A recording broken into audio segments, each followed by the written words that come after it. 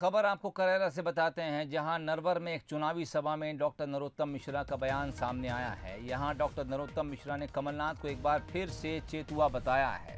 नरोत्तम मिश्रा ने अपने बयान में कहा कि चुनाव आते ही चेतुआ यानी कमलनाथ वोट की फ़सल काटने के लिए आ जाते हैं। चुनाव आ गए तो वोट मांगने आ गए। पहले गेहूँ पक जाते हैं तो चेतुआ नहीं आते, चेत काट ऐसे ही वोटर को चेतुआ है, चुनाव आए तो वोट कार्ड में आया तो चुनाव गायब। गेहूँ गायब चैतुआ चेतुआ गायब, चुनाव गायब तो कमलनाथ गायब। इन चेतुओं से तो सावधान